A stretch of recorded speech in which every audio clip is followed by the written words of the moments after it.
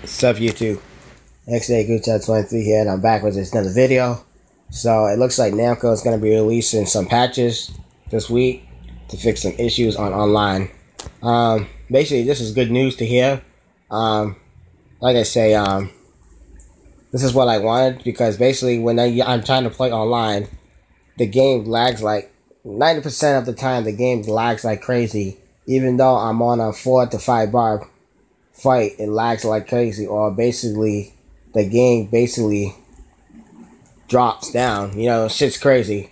Um, another thing they say, yeah, they're gonna start the, they're gonna fix the uh, match matching issues as well. Um, what that means by that, as well as um, like when you pick an opponent, it basically says connection lost to the opponent.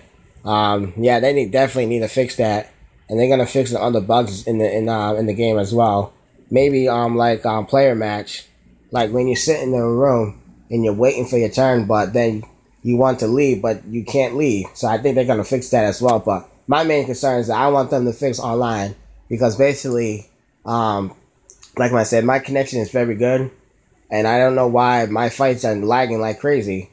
So, like I said, this is really good news to hear. You know what I mean? This is what I wanted, you know, because I wanted to play this game very, very well. I really do like Tekken 7. It's a very fun game.